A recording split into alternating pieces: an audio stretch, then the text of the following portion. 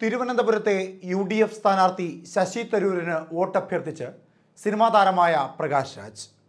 ഇടതിന്റെ സ്ഥാനാർത്ഥി പന്ന്യൻ രവീന്ദ്രൻ സാധാരണക്കാരനായ ഒരു നല്ല സ്ഥാനാർത്ഥിയാണ്. എന്നിരുന്നാലും നിങ്ങൾക്ക് വേണ്ടി നിൽക്കുന്ന പത്തു വർഷത്തെ പരിചയസമ്പന്നതയുള്ള അറിവുള്ള യു ഡി എഫ് സ്ഥാനാർത്ഥി ശശി തരൂരിന് വേണ്ടി വോട്ട് ചെയ്യുക എന്നും അദ്ദേഹം പറഞ്ഞു. Indian democracy you don't choose a prime minister. You choose a representative of your constituency who will speak for you. They come together and will choose a leader. Now the narrative has changed. Don't fall trap for this.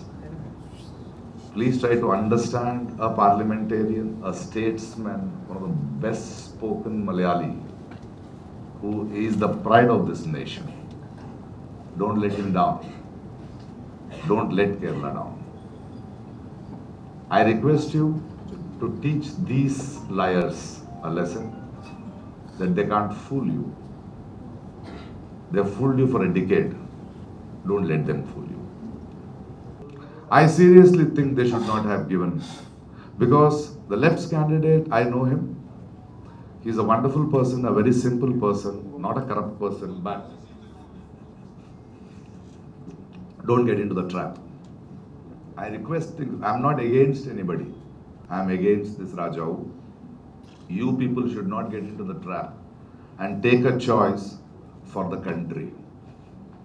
Don't vote for a political party. Vote for a person who has stood by you for 10 years. And I say this because I can vouch for the integrity of Mr. Shashi. I have always felt that there is a voice, there is a sane voice, there is a learned voice, there is a deeper voice, and he is representing me. He is representing my aspirations. A man who is not broken, who is not withered away with this sort of politics, whether it's internal or external. Why would you stop Shashi Tharoor? What is your problem? What is the ego? Why? Is he a corrupt? Is he a corrupt fellow? Hasn't he stood the time uh, test of time for ten years? No, let us not. Let us not suddenly think egos, our party, your party. No, country is important. Will you throw away ten years of experience? The footsteps he has made. Would you just throw? What is your problem? Think of the country. We'll think of the states later. We will fight between us later. Let's do our village politics. In this country, there are 1,000 parties and they have their karyakartas. We people don't belong to any party. We are permanent. You also only have to look at the candidate. My dream is India should have 40% independent candidates. You know, at least they will not sell themselves to any political party. You look at to the person who has whom you can talk to, who will represent, who will understand you. If he has not done it, you ask him.